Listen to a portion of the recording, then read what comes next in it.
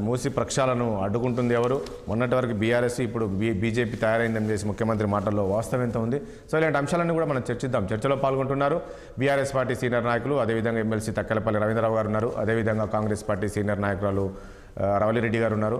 BJP senior నాయకులు N V Subhash గారు ఉన్నారు. మరి కాసేపట్లో సీనియర్ జర్నలిస్ట్ అదేవిధంగా టీశాట్ సీఓ వేణుగోపాల్ రెడ్డి గారు కూడా మనకు లైవ్లో జాయిన్ అయిపోతారు. ముందుగా రవీంద్రరావు గారు మీరు ఏం చెప్తారు ఇప్పుడు నేను అన్నదానికి మూసి ప్రక్షాళనకు సంబంధించి ఎవరు అడ్డొచ్చినా ఆగే ప్రసక్తి లేదు. ఖచ్చితంగా ప్రక్షాళన చేసి తీరుతాం. కావాలంటే హరీష్ రావు కేటీఆర్ వెళ్ళి అక్కడ ఒక వారం రోజులు అక్కడే పడుకొని ఉండాలని తెలుస్తుంది. అక్కడ ఏ రకంగా ఉంటుందో అక్కడ ఉన్న వాళ్ళు ఏ రకంగా బాధలు పడుతున్నారో అనే విధంగా నిన్న కామెంట్ చేశారు ముఖ్యమంత్రి గారు. గుడ్ మార్నింగ్ రాజేష్ గారు మీకు రవలి గారికి సుభాష్ గారికి.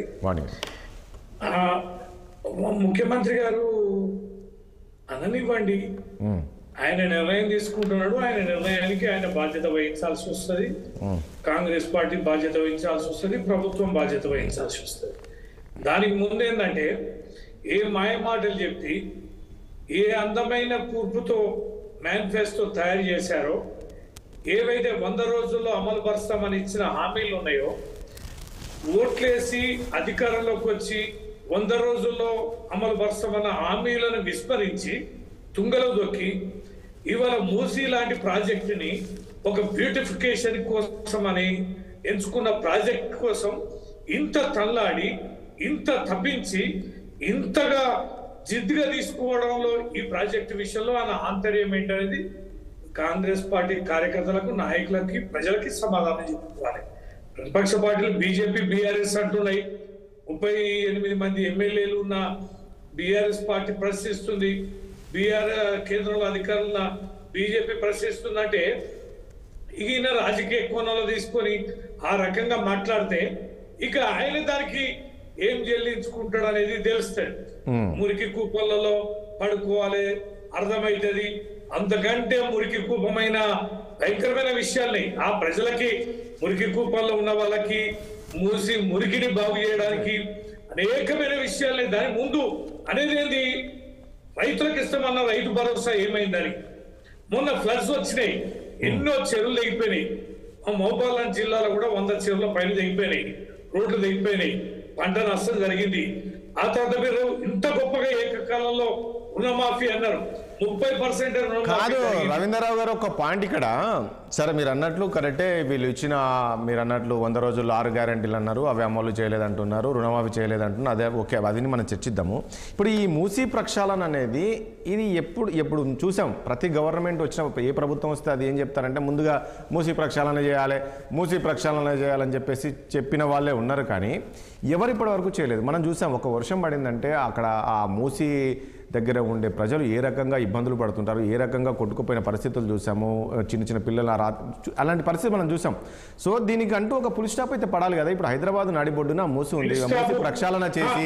వాళ్ళకు ఒక మంచి ప్రాంతంలో నేను ఏమంటున్నా వాళ్ళ ఒక మంచి ప్రాంతంలోకి తరలించి చేస్తే దాంట్లో అందులో మీకు వచ్చిన ఇబ్బంది ఏంటి మంచి కార్యక్రమం కదా ఇచ్చిస్తుంది అంటే నేను దీనికంటే దీనికంటే అత్యంత ప్రయారిటీతో కూడుకున్న అంశాలు ఉన్నాయి కదా రాజేష్ గారు వాళ్ళ మేనిఫెస్టో ఆర్ గ్యారంటీ వంద రోజులు ఏమైంది? అది వదిలిపెట్టి ఇది ప్రాజెక్ట్ ఎట్లయింది మీకు? అడగదా మేము అడిగేది. మీకు Musi project highest project priority ఎట్లయింది? దాని డిపిఆర్ ఏమైంది? దాని బడ్జెట్ ఏమైంది? ఎంత ఖర్చు అయింది? గత ప్రభుత్వాలు అన్నాయి గత ప్రభుత్వాలు అన్నాయి అంటే గత ప్రభుత్వాలు చేయలేదా? మేము చేయలేదని మీరు ఎట్లా అంటున్నారు రాజేష్ గారు? పోయి చూడండి మూసి బ్యూటిఫికేషన్ కోసం పనులు కాలేదా? మేము సైట్ బర్డ్స్ కట్టలేదా? మేము ఎస్టీపీల నిర్మాణం చేయలేదా? అంటే అసలే పని జరగనట్టు ఒక పద్ధతి ప్రకారం జరుగుతూ పోతుండాలి. మూసి ప్రాజెక్టు సంబంధించి దానికి అయ్యే ఖర్చు ఎంత? దానికి తేవాల్సిన డబ్బులు ఎక్కడ వస్తున్నాయి? మీరు వృద్ధాప్య పెన్షన్లు కానీ మీరు ఇవన్నింటినీ అవి ఊరికనే కొట్టేస్తారేందండి? వంద రోజులు మీరు అధికారంలోకి వచ్చింది ఆరు గ్యారెంటీల పదమూడు హామీల అమలుకు సంబంధించి కదా? వంద రోజుల్లో చేస్తామన్న అంశాలు మీకు లీస్ట్ ప్రాజెక్ట్ ఎట్లయినాయి? రైతు భరోసా ఎట్లా లిస్ట్ బ్రేక్ అయింది? తప్పుడు తప్పుడు ప్రచారం ఎట్లా చేస్తారు? మీరు రైతు రుణమాఫీ చేసినామని వంద శాతం చేశారా? ముప్పై పర్సెంట్ అయిందండి. ఏ బ్యాంకులకైనా పోండి ఏ గ్రామాలకైనా పోండి ఇలా పిల్లల చదువులకు సంబంధించింది. ఇరవై రెండు లక్షల కాదండి రవి రవీంద్రరావు గారు. ఇరవై కాదు రవీంద్రరావు గారు. ఇరవై రెండు లక్షల రవీంద్రరావు గారు రుణమాఫీ రుణమాఫీ అంశంలో ఇరవై రెండు లక్షల మందికి రుణమాఫీ చేశారండి. ఇరవై రెండు లక్షల మంది కాదు నలభై వేల కోట్లకు చేయాలి పద్దెనిమిది వేల కోట్లకు మాత్రం మేము వేసినామంటారు ఆ అకౌంట్లలో ఎక్కడ పడ్డాయి? ఎవరు చేసినాయి? థర్టీ పర్సెంట్ విలేజ్కి రాలేదు రాయేష్ గారు. బోగస్ మాటలు చెప్పుకుంటా ప్రజలను మభ్య పెట్టుకుంటా ఏంటిది? ఎక్కడ ఏ రకంగా మీరు హామీలు ఇచ్చారు? ఆ మహిళలకి రెండు వేల ఐదు వందలు ఇచ్చిండ్రా? వీళ్ళకి ఐదు ఐదు లక్షల రూపాయలు పిల్లల చదువులకు ఇస్తామన్నారు. ఇచ్చిండ్రా? వాటి సంగతి ఏంటి? రైతు భరోసా కూడా ఇవ్వలే కదా?